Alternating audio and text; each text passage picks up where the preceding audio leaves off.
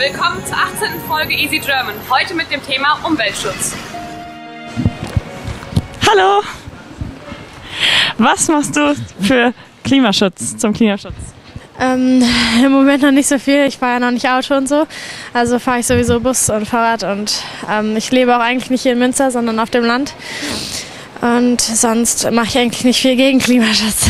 Und in deinem Haushalt zum Beispiel, stellt ihr die Standby-Geräte ganz aus oder macht ihr Lichter aus, wenn ihr das Haus verlasst?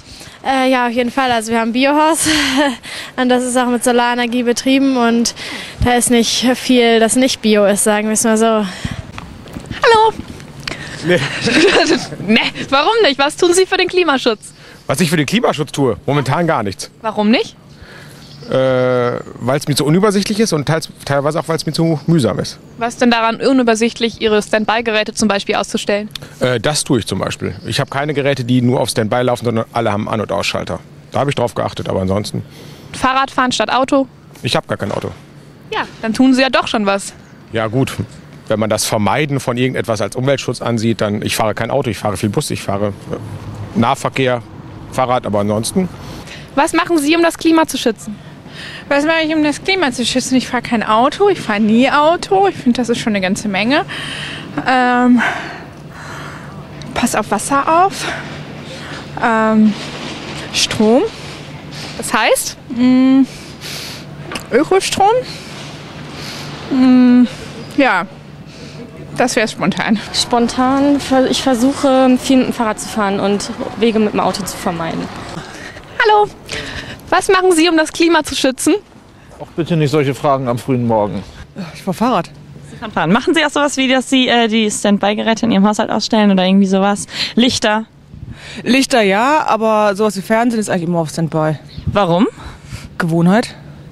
Aber damit könnten Sie ja persönlich auch Strom sparen. Das stimmt. Ich habe mir aber auch keinen Gedanken darüber gemacht. Aber jetzt bin ich ja angeregt, es zu tun. Dankeschön. Was machst du für den Klimaschutz? Oh. Ich versuche äh, so weit wie möglich für mich selber das Nötigste zu tun. Was heißt das? Ähm, nicht unnütz Auto fahren, das Fahrrad viel benutzen. Was machen Sie, um das Klima zu schützen? Ach, ich arbeite im Hintergrund. Das heißt? Das heißt, ich bete. Weil, wie gesagt, ich, hab- ich mache mir keine Gedanken darüber. Ich habe mir keine Gedanken darüber gemacht. Können wir Sie denn jetzt vielleicht ein bisschen anregen, sich mehr Gedanken zu machen? Das können Sie, ja klar. Ja, dann schalten Sie doch mal heute alle Standby-Geräte aus. Okay, wer- werde ich machen, ja. Super, vielen Dank. Kein Thema, gerne. Was tust du für den Klimaschutz? Ähm, eigentlich noch nichts. Warum nicht? Also ich tue was eigentlich schon. Ich fahre kein Auto. Diesen Samstag war die Earth Hour. Unsere Stadt Münster hat daran teilgenommen. Herr Specht vom Umweltamt erklärt uns was darüber. Die Earth Hour ist eine symbolische Aktion, um den Klimaschutz in der Bevölkerung bekannter zu machen. Das ist eine weltweite Aktion, das ist was Wunderbares. Also es wird an einem Tag, nämlich am 26. März, also jetzt am kommenden Samstag, wird für eine Stunde an ganz vielen bekannten Gebäuden in der ganzen Welt das Licht ausgestellt. Von 20.30 Uhr bis 21.30 Uhr. Zum Beispiel am Eiffelturm, an wirklich an ganz vielen richtig bekannten Gebäuden. Und so auch in Münster. Die Stadt Münster macht da jetzt zum zweiten Mal mit. So wird das Rathaus dann eine Stunde verdunkelt, der Dom wird verdunkelt, der Erbtrostenhof äh, und einige andere Sachen. Und äh, wie ich gerade schon sagte, eine symbolische Aktion, damit man einfach mal darauf aufmerksam wird.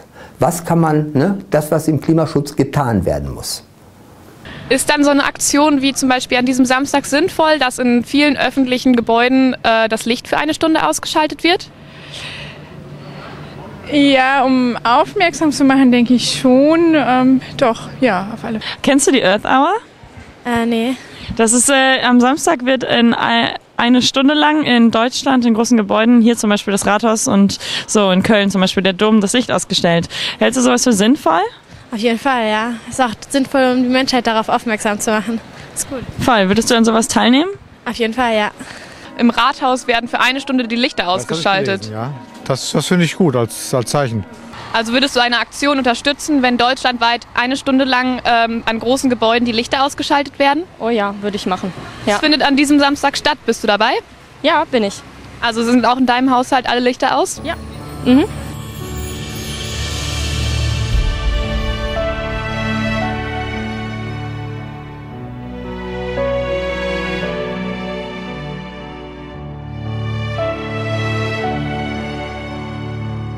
Wie finden Sie so eine Aktion denn? Gut. Finden Sie gut? Ja. Würden Sie da auch mitmachen? Bei uns zu Hause sind jetzt auch alle Lichter aus. Wie hier sind. Aber wenn Sie gleich zu Hause sind, würden Sie dann auch mal die Lichter ausmachen für Ja. eine Stunde? Würden Sie mitmachen? Ja, dann gehen wir klar, schlafen. ich Sie- Hallo, Entschuldigung. Wisst ihr, warum heute das Licht vom Erbbrüstenhaus aus ist? Was für ein Haus? Erbbrüstenhaus, das hier genau. Ist nicht beleuchtet, wie ihr seht. Und es Ja, irgendwie Strom sparen oder so. Ich hab's ja irgendwie gehört, ne? Das war. ist so? Wisst ihr- wegen Japan? Das, nee, das, ist, das geht doch, glaube ich, darum, dass irgendwie. Es soll ja nicht irgendwie um Strom sparen gehen, sondern es soll irgendwie darum gehen, dass man irgendwie gemeinschaftlich, keine Ahnung, irgendwas äh, bewirken kann. Da kennt sich einer Ja, das Da hab ich- kennt sich einer aus. Ja, das habe ich im Radio gehört. Münster ist schon ziemlich aktiv beim Umweltschutz. Es gibt sogar eine eigene Initiative, die heißt Münster Pacts. Herr Specht wird es uns erklären. Also diese Earth Hour, die da jetzt läuft, das ist ja eine, wie, wie ich gerade schon sagte, symbolische Aktion. Das ist natürlich nicht alles, was wir in Münster machen. Wir machen natürlich sehr, sehr viel mehr. Äh, wir haben da zum Beispiel eine Kampagne, das ist der Bürgerpakt für Klimaschutz. Und in diesem Bürgerpakt für Klimaschutz versuchen wir hier in Münster die Menschen, also Sie und mich, zu aktivieren, etwas ganz Konkretes für den Klimaschutz zu tun. Das Licht auszumachen, äh, Standby, äh, die ganzen Standby-Regelungen auszuschalten und ganz, ganz viele andere Dinge. Dem ist also wirklich Tür und Tor geöffnet bis hin zu ich fange einfach mal an, jetzt nicht mit dem elektrischen Rasenmäher meinen Rasen zu schneiden, sondern mit dem Handrasenmäher. Also wirklich eine ganze Menge an Dinge, die wir wirklich tun können. Unter dem Motto Kleinvieh macht auch Mist. Und wir haben nämlich errechnet, wenn alle Münsteraner, die äh, wenn die unseren Klimapakt mitmachen würden und genauso handeln würden wie die 3000, ich sage 3000 Menschen in Münster, die bisher schon beim äh, Klimapakt mitmachen, wenn die genauso handeln würden, hätten wir schon 20 Prozent äh, unserer, unseres Klimaschutzziels erreicht. Und das wäre natürlich eine ganz hervorragende Maßnahme. Sagt Ihnen die Aktion Münster Pacts was? Äh, ist das nicht diese Aufräumaktion? Nee, das ist eine Aktion für äh, Bürger, die sich dazu selbst verpflichten, an ihrem Haushalt mehr auf ähm, den Klimaschutz zu achten, mehr auf den Stromverbrauch zu achten. Ach so, ja gut. Auf den Stromverbrauch zu achten ist ja sozusagen schon im Eigeninteresse jedes Einzelnen. Richtig. Wäre das denn was für Sie, da mitzumachen? Geben Sie mir noch mal so ein, so ein Ding mit und dann gucke ich, ob ich das bei mir in der WG durchsetzen kann. Ja, das ist das Mitmachformular. Einfach ausfüllen und abschicken. Okay, danke sehr. Tschüss. Tschüss. Was äh, könnte Münster zum Beispiel, die Stadt Münster machen, um ähm, am Klimaschutz zu arbeiten oder den Bürgern das zu erleichtern, am Klimaschutz teilzunehmen? Ich kenne mich jetzt da nicht so aus, muss ich ehrlich zugeben. Ich bin seit erst seit einer Woche hier. Aber hier wird ja sehr viel Fahrrad gefahren und so. Dass man das vielleicht noch ein bisschen verstärkt. Auch der öffentliche Verkehr soll hier sehr gut sein. Und was könnte die Stadt Münster tun, damit es noch mehr Bürger gibt, die so denken wie Sie? Ja, mehr Werbung, denke ich, mehr Aufklärung auf alle Fälle. Die Stadt Münster könnte wahrscheinlich den äh, öffentlichen Personennahverkehr ein bisschen weiter ausbauen. Und wie können die Bürger selber mehr angeregt werden, Strom zu sparen? Äh, letztlich bin ich ja eigentlich gegen Subventionen und solche Dinge, aber äh, vielleicht müsste man im Bereich Energiesparen da äh, noch einiges verwenden. Und was könnte Münster noch mehr tun, um das Klima zu schützen? Ähm, ja, gute Frage. Also ich schätze, ja, man könnte, ich meine, Münster tut ja an sich als Stadt schon sehr viel dafür, durch die vielen Fahrradwege. Ähm, ja, man könnte vielleicht versuchen, noch mehr so Fahrgemeinschaften und sowas zu äh, organisieren und ja. Und jetzt kommt mein Wunsch an die Münsteranerinnen und Münsteraner. Machen Sie mit beim Bürgerpakt für Klimaschutz. Tun Sie etwas für Münster, tun Sie etwas für sich.